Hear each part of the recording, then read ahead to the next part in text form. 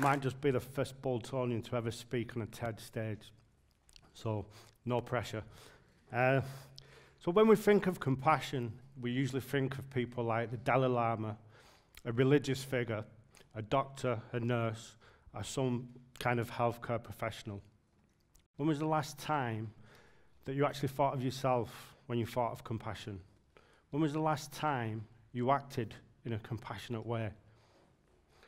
Now, I've been researching compassion for the last three years or so, mainly in healthcare settings.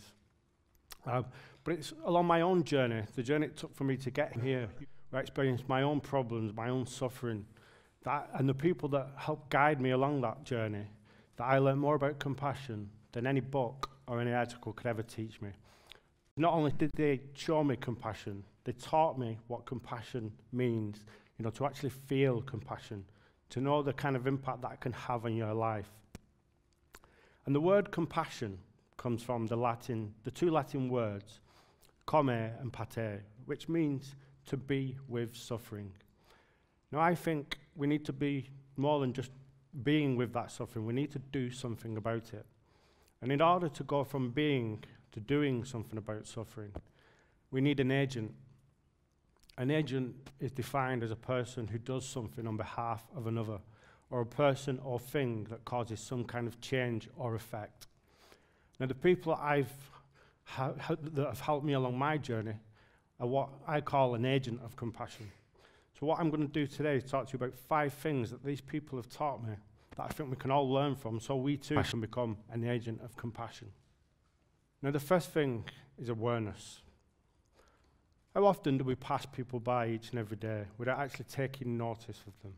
How often do we miss an opportunity to act with compassion, to save someone, to just be there for them, to do something? So, what I'm proposing is that we start to take notice. We, we open our eyes, we, we become more aware of our surroundings and the people that we interact with every day or, or pass by every day. I mean, some people say that we need to practice mindfulness to become compassionate.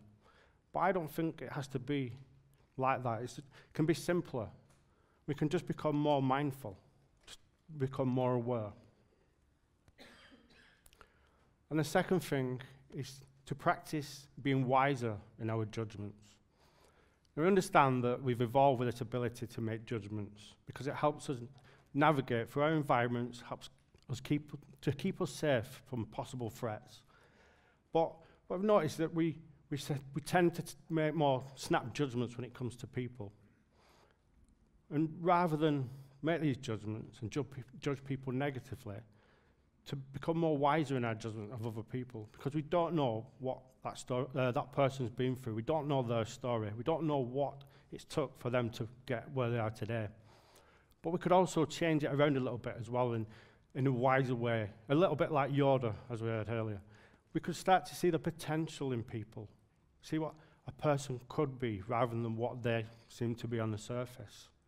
And the third thing is communication. Now we, we've got this amazing ability to communicate, to get what's in our heads into the heads of others.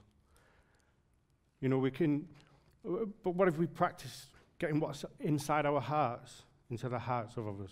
To communicate more compassionately. To, know, we can, the language we use is important. You know, how often do we say to someone, uh, Are you okay? Are you all right? When clearly they're not. Clearly they're in distress. Clearly they're in need of assistance. What if we start asking, you know, we do something a bit more radical? We start asking, what can I do for you? How can I be of assistance to you? How can I help you today? And, and we can also communicate non-verbally. A simple smile. A smile can let another person who know that you see them, that they exist. The way we present ourselves as well. An open posture, a more compassionate posture that says, I am here. You know, I, I embrace you as another human being. And again, the things we say, we can communicate more, more positively. And one of the most powerful things that's ever been said to me, and what I consider to be very compassionate, is that I believe in you. I believe in you. Trust me, that one sentence is enough to change someone's life. And the fourth thing, and probably the most important, is courage. The courage to move beyond something greater than ourselves, to move beyond our own suffering, our own pain, our own vulnerabilities, our own anxieties, our own nerves, in the service of something greater than ourselves, another human being. To be there for someone when they need it most. To not only say something needs to be done about that, but to actually do something, to act compassionately. And the fifth and final thing is patience. These things take time. Learning takes time. Healing takes time. But don't give up. Don't give up on yourselves. Don't give up on others. Don't give up on things that really matter to you. Because, you know, you will make mistakes. You will fall. But you can't stop. You've got to keep going. And what I've learned from my experience is that sometimes to get to the right place, you have to go the wrong way. But keep going, we must. And if compassion's there to help guide you, then you will get there. So that's five things that you can practice. And the beauty is you can practice these things on yourself. You can become aware of how you feel, how you judge yourself, but become wiser in your judgment of yourself, to question any negativity, but then to transform that into a communication that says, wait a minute, I can do this. You how many speakers today have probably been in the back saying, I can do this, I can do this. But you can, you know, and you are worthy. Say, I am worthy, I can do this, I believe in me.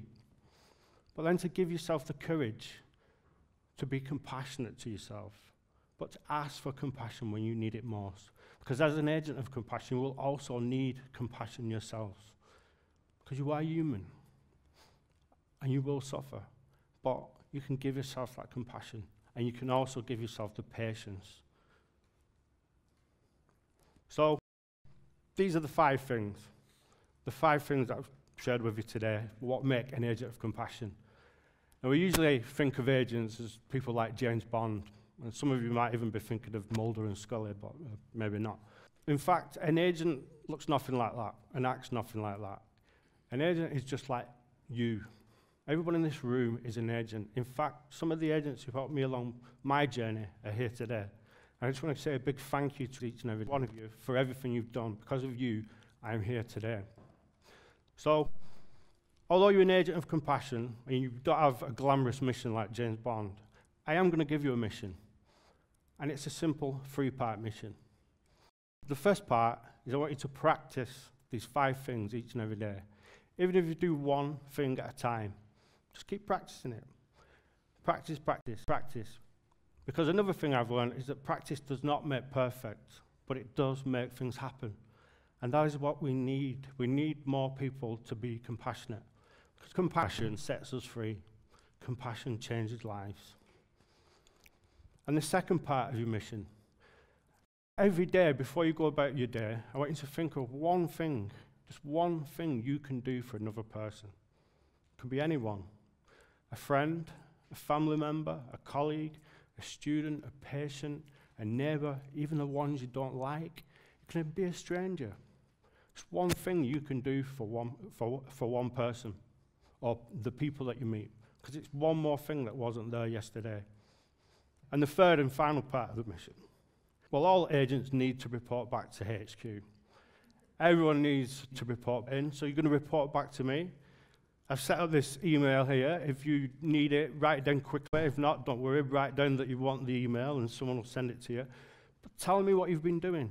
Tell me how you've acted and know that you're this agent of compassion. Tell me what you've done. Tell me how the people responded.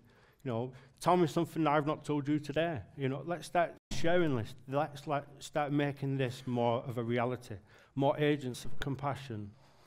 Because I'd love to see that. I'd love to see, like, I know that we need compassionate practitioners, but I think more importantly, we need compassionate people.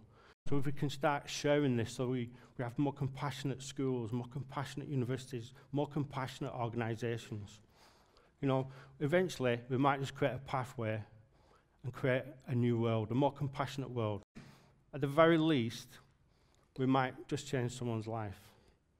And to prove that, this is these two photos. One is me graduating with a first class honours degree, and the other is me class, uh, graduating with a, a distinction for my master's in psychology.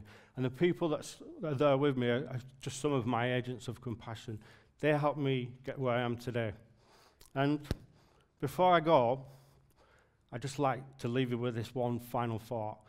And that is Ted talks about ideas worth spreading. And I think that compassion is definitely an idea worth spreading.